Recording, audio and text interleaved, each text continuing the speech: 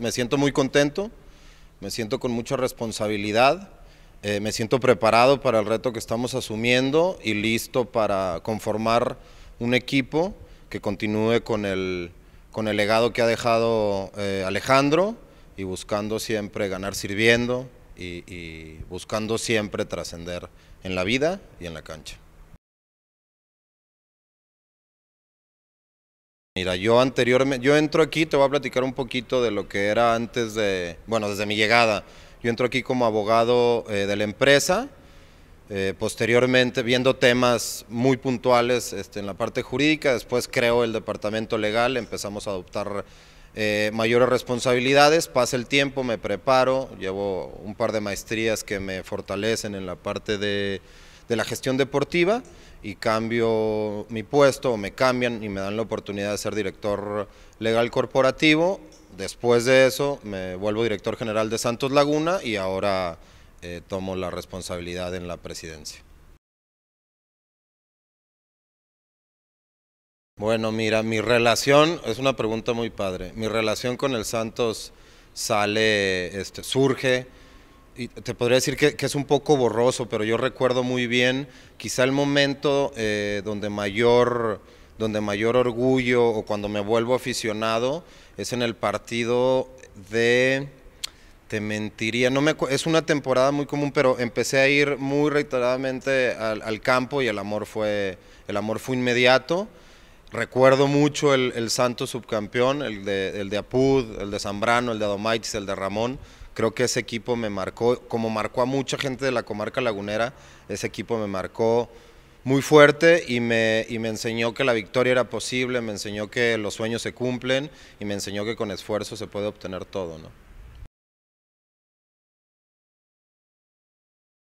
No, mira, como, como platicábamos anteriormente en, algunas otras entrevistas, eh, Orlegui no es una empresa que improvise, entonces obviamente este nombramiento se venía preparando, traía consigo eh, un sinnúmero de, de, preparaciones, un sinnúmero de reuniones, un sinnúmero de proyectos y, y, al final del día se da en este momento, pero nosotros ya lo veníamos trabajando y preparando todo para lograr, la, lograr el nombramiento, ¿no? Y que todo se diera este, armónicamente y poder continuar con las obligaciones y, responsabilidades que tiene, que tiene la institución.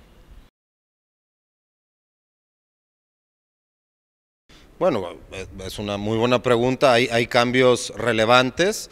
En mi anterior trinchera yo era director general y veía toda la parte relacionada con el funcionamiento y la buena operación de la institución como equipo y en la parte administrativa, comercial, de operaciones, administración. Eso era lo que yo veía y luego la parte de cancha la veía en el tema de trade, en la parte que yo llevo conjuntamente con Alejandro y con, con Pepe Riestra, ahí lo atendíamos, pero hoy cae la absoluta responsabilidad de atender al equipo y de asumir el riesgo, siendo tú la cabeza del proyecto y, y teniendo la absoluta, como te decía, la absoluta responsabilidad sobre cada una de las cosas que sucedan y que se decidan en el seno del club, ¿no? Sí, mira, eh, la idea siempre es continuar con lo que se viene haciendo bien. Como sabes, Santos Laguna eh, tiene un proyecto, cuando lo toma Alejandro hace 13 años, que diseña una manera de trabajar muy puntual. ¿Qué es esto? Ganar sirviendo. ¿Qué es esto? Hacer más con menos. ¿Qué más es esto? Tener siempre claro que la forma es fondo. Entonces, el triunfo deportivo es importante, pero no menos importantes son las formas en las que se obtienen. Nosotros queremos formar en la parte de fuerzas básicas profesionales dentro y fuera de la cancha, queremos formar personas, queremos que la gente que llegue tenga eh, los elementos necesarios eh, y la robustez para poder desenvolverse adecuadamente en la cancha y fuera de ella. Tenemos también esta parte que hay que darle continuidad y fuerza, que es todo el área de inteligencia deportiva, donde tendríamos que, continuar con lo que se viene haciendo bien, se trabaja muchísimo, habría que profundizar como se ha venido profundizando eh, a lo largo del tiempo y tratar de, y lograr, no tratar, lograr que, se logren las mejores contrataciones que se puedan adaptar al, al, estilo de juego y a la forma en la que nos gusta a los laguneros vivir el fútbol y vivir la vida en general. Mi equipo de trabajo en la parte deportiva es Ricardo Martínez Trimmer, es un, es un chavo que tiene trabajando con nosotros nueve años, es un gran profesional, como sabes el medio del fútbol a veces tiene muchas áreas obscuras y él nos ha dado muchísima claridad, es un hombre eh, con el cual cuento absolutamente, totalmente dedicado al trabajo, eso en la parte de, de la dirección de fútbol y pues está también Guillermo Almada, ¿no? Como director técnico, que es la parte importante que se, que se dedica a desarrollar y a exponenciar nuestros talentos, ¿no? Lo que planeamos en la cancha, lo que planeamos fuera de la cancha, él se encarga de llevarlo este, al límite, a su mejor versión. Bueno, formé parte, formo parte, formé y sigo formando parte del comité deportivo que decidió su contratación. Eh, a Guillermo lo, lo venimos siguiendo desde hace un par de años. Tuvimos una entrevista en Buenos Aires con él en diciembre pasado y fue cuando nace este, este clic, nos hace clic y entendemos que, que era el, el, sucesor y que era una siguiente extraordinaria opción. Te diría más que extraordinaria, era la, la única opción porque tiene una, una, manera de trabajar que comulga bastante con, con los valores de, del guerrero. ¿no?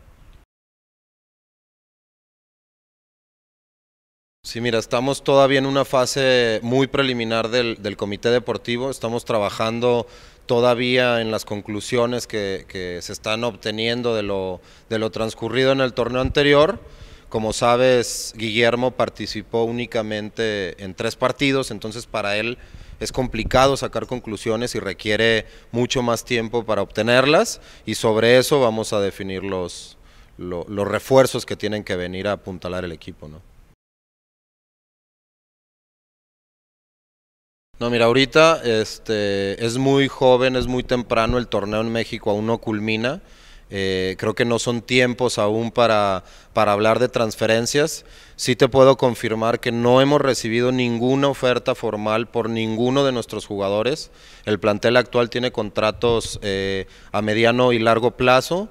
Eh, la intención y la finalidad de, de, nosotros es darle continuidad al plantel. Creemos que tenemos un plantel sólido, solvente, que necesita apuntalarse eh, y no hemos recibido, eh, reiterando, alguna oferta o propuesta de algún club. Creo que con todo el tema de las redes sociales es muy fácil ahí encender el, el rumor y creo que en últimas fechas eso es lo que ha venido sucediendo. ¿no?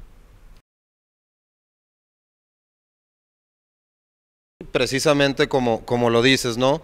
Independientemente de si se lleva a cabo la operación de la que hablas en, el estado de Jalisco, nosotros nos debemos de sentir tranquilos, yo me siento tranquilo, creo que las inversiones que ha hecho Orlegui en la ciudad, creo que el estadio donde estamos este, llevando a cabo esta entrevista son la prueba máxima de lo anterior, creo que la inversión que existe en capital humano y en recursos materiales en, en todo este complejo, pues nos permite pensar que que Orlegui tiene un plan a larguísimo plazo dentro de la laguna y eso te lo indican los presupuestos que venimos ejerciendo e independientemente de la operación en Jalisco, si se realiza o no, nosotros ya tenemos muchos años trabajando con un presupuesto autónomo que depende exactamente de lo que el club genera. Entonces yo ahí les daría la absoluta tranquilidad y les diría que no, no habría una razón de negocios o una razón emocional una razón de sentimientos que nos lleve a concluir o siquiera pensar que, que Santos Laguna va a tener un deterioro o un detrimento en esta, en esta decisión.